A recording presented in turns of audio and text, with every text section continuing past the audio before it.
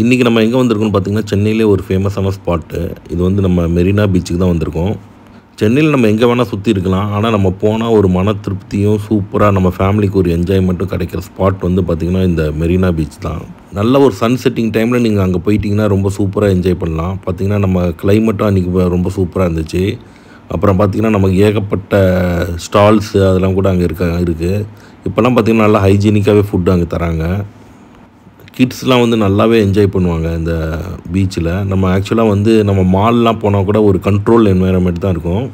இங்கே பார்த்திங்கன்னா அவங்க நல்லா ஓடி அப்படியே ஜாலியாக என்ஜாய் பண்ணி விளையாடலாம் இந்த பீச்சில் பார்த்திங்கன்னா நான் பார்த்திங்கன்னா ரொம்ப ரெக்கமெண்ட் பண்ணுவேன் பீச்சுக்கு போகிறதுக்கு தான். பார்த்திங்கன்னா ஏன்னா நமக்கு வந்து நல்லா ஒரு நேச்சுரல் காற்று வந்து நல்லா கிடைக்கிது. அப்புறம் பார்த்திங்கன்னா நம்ம வே வேணும்னா வீட்டிலேருந்தே கூட ஃபுட்டுலாம் கொண்டு போய் அங்கே உட்காந்து சாப்பிட்லாம். இல்லாட்டி அங்கேயும் கொஞ்சம் ஃபுட்ஸ்லாம் இப்போ வந்து இப்போ நல்லாவே இருக்குது அங்கேயும் நம்ம வாங்கி சாப்பிட்லாம்.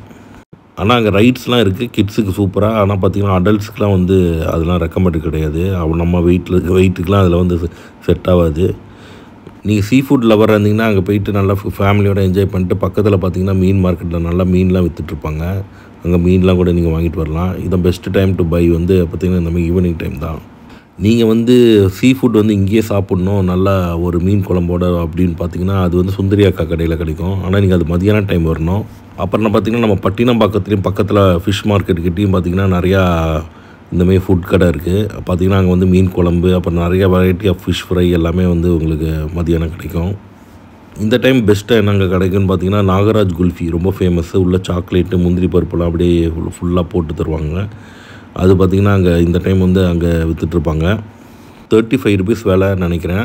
அது வந்து கண்டிப்பாக சாப்பிடுங்க. அப்புறம் இங்கே வந்து மிளகா பஜ்ஜி வந்து கண்டிப்பாக மஸ்ட்டு ட்ரை ரொம்ப சூப்பராக இருக்கும் மிளகா பஜ்ஜி பீச்சில் அப்படியே நல்லா பீச் காற்று வாங்கிட்டு நீங்கள் போய் வந்து உங்கள் சீ வேவ்ஸ் கூடலாம் கொஞ்சம் போய் விளையாடிட்டு அப்புறம் நீங்கள் வந்து இந்தமாரி சோளம் கூட நல்லா அங்கே கிடைக்குது. அங்கே வந்து இந்தமாரி சுட்டு தராங்க. அது வந்து சூப்பராக இருக்கும். அது வந்து அது கொஞ்சம் மிஸ் பண்ணாமல் சாப்பிடுங்க.